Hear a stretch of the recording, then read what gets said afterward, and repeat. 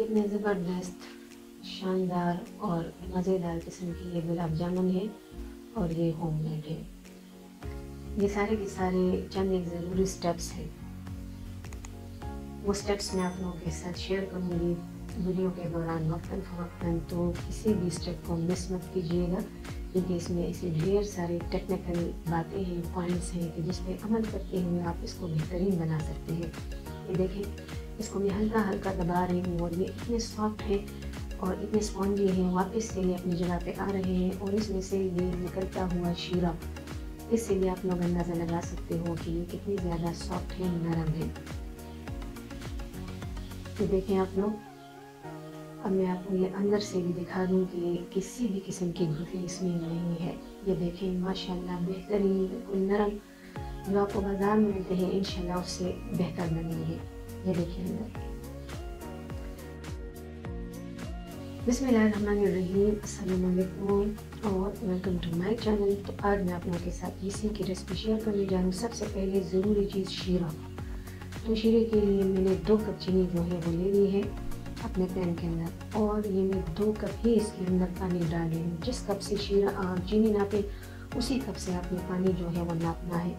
कोई एक तार, दो तार, उसके चक्कर में ना पड़े। ये मैंने डाल दिया, साथ ही मैंने इलायची कूट के डाल दी और पकने के लिए छोड़ दी। ये देखिए, थोड़ी देर के बाद चीनी पिघल चुकी है, ये बिल्कुल रेडी है। खीरा गाढ़ा होगा तो वो गुलाब जामुनों के अंदर एब्जॉर्ब नहीं हो पाएगा। तो इस बात को हमेशा अपने जहन में रखिए। अब यहाँ पे ये मैं इसका जो, उसके जो बॉल्स हैं, उसके मिक्स की जानब में जा रही हूँ। तो इसका मिक्स बनाने के लिए इसको मैं ड्राई मिल्क पाउडर से बना रही हूँ। तो सबसे पहले ये मैंने एक कप ड्राई मिल्क या खुश्क दूध जो है वो लिया। किसी भी अच्छे ब्रांड का ले लीजिएगा।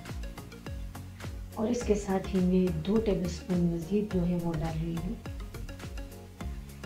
ये एग्जैक्ट मेज़रमेंट है। पहली मरतबा बनाए तो इससे ही बनाए। ये दो टेबल स्पून के बराबर मैं इसमें डाल रही हूँ मैदा।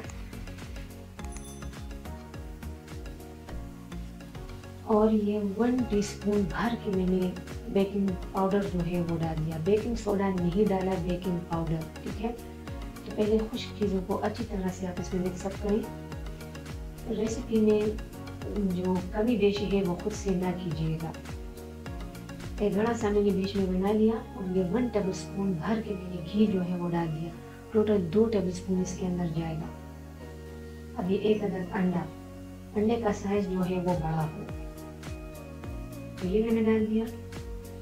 और इसको मैं आपस में मिक्स अप करूँगी जो दूसरा टेबल स्पून घी है, वो मैं इसको भूनते हुए इसके दौरान में शामिल करूँगी। शुरू से नहीं डाला। ये देखिए इसको मैं इकट्ठा करने की कोशिश कर रही हूँ। ये देखिए और ये नीचे बिखर के जा रहा है। तो इस स्टेज पे आप दो से तीन टेबल स्पून जो इस स्टेज पे आप लोग दो से तीन टेबल स्पून जो दूध होता है, वो आप लोग डाल दें। कंसिस्टेंसी जो है, उसको आप लोग देखें।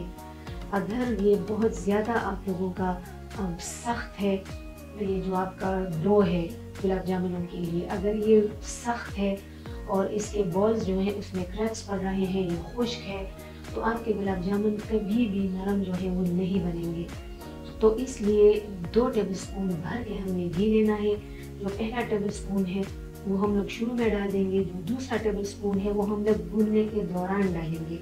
और फिर भी अगर आप लोगों का जो मिक्स है, वो सख्त हुआ, क्योंकि आप जब इसको शेप देंगे बॉल्स की तो इसमें क्रैक्स पड़ेंगी और जैसे जैसे इसको हवा लगेगी, ये मज़ीद खुश्क होगा और आपके गुलाब जामुन जो हैं, वो सही नहीं बनेंगे तो वो फूलेंगे भी नहीं। तो इसलिए आपका जो मिक्स है, वो थोड़ा सा नरम हो। तो उस दौरान मैंने इसमें दो से तीन टेबल स्पून दूध जो है, वो डाल दिया। यानी जो आम मिल्क होता है लिक्विड मिल्क पाउडर की बात नहीं कर रही तो मैंने वो डाला। और इस तरह से ये जो मेरा गुलाब जामुनों का मिक्स है, वो थोड़ा सा नरम पड़ गया। इसी वजह से मैंने इसके दौरान वो जो दूसरा टेबल स्पून घी था, वो डाला ताकि वो हाथों के साथ चिपके नहीं। तो इस तरह से ये स्मूथ डो जो है, इसको मैंने बना लिया। ये देखिए, अब मैं इसको शेप जो है, वो दे रही हूँ। छोटे छोटे बॉल्स जो हैं वो मैं बना रही हूँ क्योंकि ये अच्छे खासे फूल जाते हैं।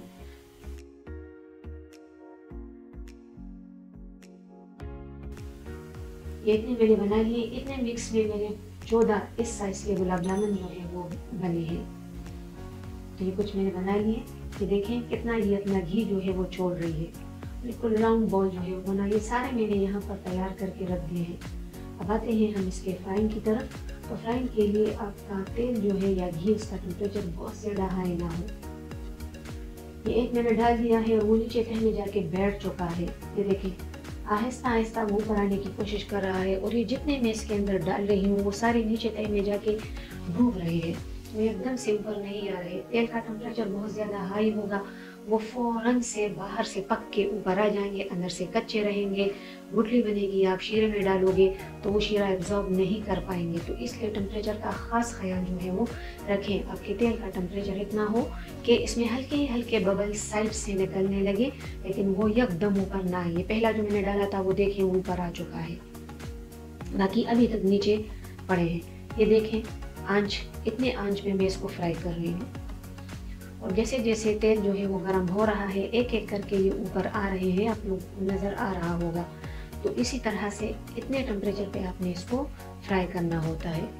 तो ये देखें, ऊपर उठ उठ के ये आ रहे हैं और ये फूल भी रहे हैं। इस वक्त तक आपने चम्मच नहीं डालना। जब ये ऊपर आ जाए तो तब आप इसको चम्मच जो है वो लगाएँ और इस तरह आपने अपने ऑयल को घुमाना होता है। आप ऑयल को घुमाओगे तो साथ साथ ये भी घूमते चले जाएँगे और उस वक्त तक आपने इसको घुमाना है। जब तक कि आप इसके ऊपर वो जो डिज़ायर्ड कलर है या हल्का सा ब्राउन ये देखिए, इस पर आ चुका है। अब मैं इसको डाल दूँगी शीरे में। शीरा जो है वो आपका नीम गर्म हो और गुलाब जामुन आपके बिल्कुल गर्म हो, तेल से निकाले, फ़ौरन से नीम गर्म तेल में डालिए।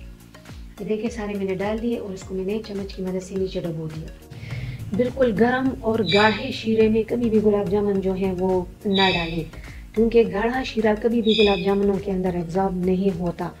और अगर आपका शीरा बहुत ज़्यादा खोलता हुआ गर्म हुआ तो आपके जो गुलाब जामुन है, उसकी टेक्सचर ख़राब हो जाएगी। तो इस बात का हमेशा ध्यान रखें। और अब ये इसको मैं सर्व करी हूँ। ये मैंने चार बजे बनाए थे और तकरीबन नौ बजे के करीब ये वीडियो मैंने बनाई है। तो तकरीबन पाँच घंटों से ये शीरे में पड़े थे। उम्मीद है कि आप लोगों को ये जो वीडियो है, ये पसंद आई होगी। पसंद आती है तो लाइक करें शेयर करें। चैनल पर नए हैं तो सब्सक्राइब करें। ये देखें, बिल्कुल नरम नरम गुलाब जामुन। बाज़ार वाले से भी अच्छे इन आप लोगों के लिए बनेंगे। वीडियो देखने के लिए बहुत बहुत शुक्रिया। अगर पसंद आती है तो प्लीज़ लाइक करें और शेयर करें।